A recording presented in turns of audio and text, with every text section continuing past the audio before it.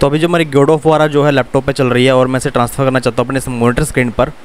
तो monitor screen पर transfer करने के लिए आपको सिंपली क्या करना है? कीबोर्ड पे जाना है और प्रेस करना है window and shift key.